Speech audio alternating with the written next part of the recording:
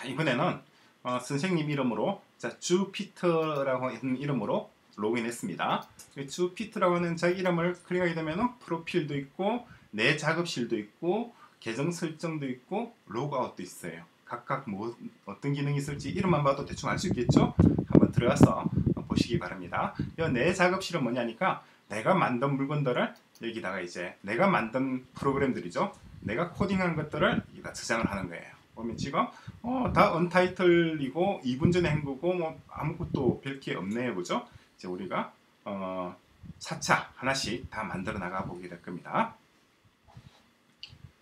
자, 그리고 또 어, 내 정보 계정 설정도 있죠. 계정 설정에 들어가면 여러분들에 대한 어떤 간략한 이름들, 위치, 지금 South Korea라고 되어 있죠. South Korea는 우리나라를 말하는 거예요. 한국을 외국에서는 사우스 코리아라고 얘기합니다. 남쪽에 있는 한국이라는 뜻이죠. 북쪽에 있는 한국도 있겠죠. 북쪽에 있는 한국은 우리가 잘 모르는 말하죠. 그렇죠? 차차 여러분들 알게 될 겁니다. 자, 어쨌거나 다시 들어가서 처음 화면으로 들어가 보겠습니다.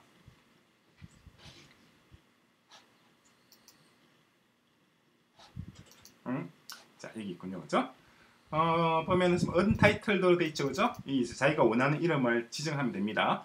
어, 처음이니까 뭐 테스트라고 하겠습니다. 테스트라고 하고 자, 그런 다음에 보면은 이 녀석을 우리가 sprite라고 한다고 얘기를 했었죠. sprite라고 하는 것은 어, 이렇게 이 지금 이렇게 생긴 것이 복사기예요. 복사기에서 이렇게 sprite가 지금 하나에서 두 개가 만들어졌죠, 그죠?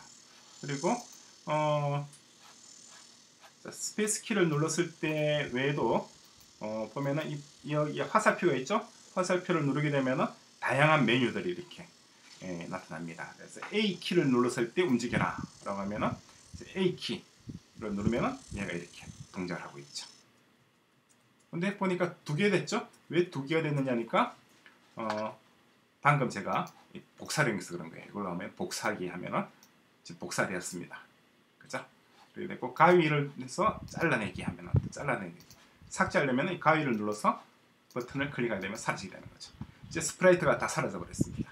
우리가 어떤 지시를 시켰는데 우리 말을 듣고 동작을 행동에 옮길 어, 우리의 어, 뭐라고 얘기해야 될까요? 우리의 우리의 우리의 음, 아바타 음, 아바타라고 하죠. 아바타가 사라져 버렸네요. 이 아바타를 우리는 sprite라고 합니다. 그럼 새로운 sprite가 없어졌는데 새로 불러드리려면 이 오른 밑에 보이죠? 저장소에서 sprite 선택 있죠.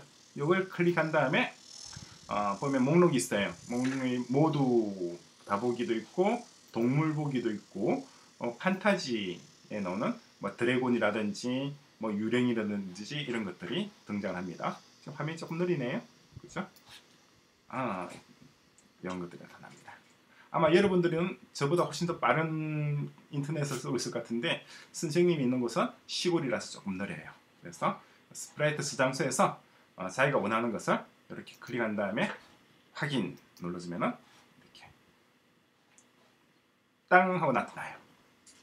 아, 아직 안 나타나고 있습니다. 이렇게 느릴까요? 음, 이제 나타났습니다.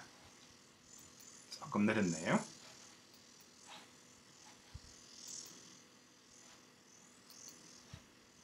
화면을 다시 갱신을 하겠습니다.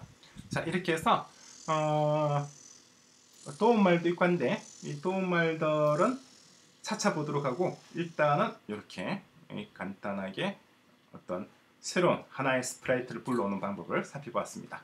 자 그런 다음에 보면은 우리가 화면을 처음에 로딩하게 되면은 이렇게 어, 오른쪽에 도움말 보기 이렇게 돼 있어요. 이거 이 화면은 지금 바로 시작하면 항상 나타납니다. 그래서 보면 tutorial 돼 있죠.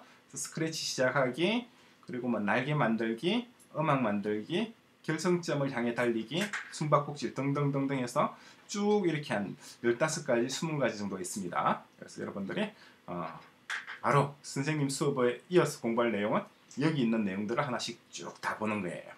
그러면은 여러분들이 여기 있는 것들 뭐 도움말에 써보는 도움말에 나와 있는 이 샘플들이죠.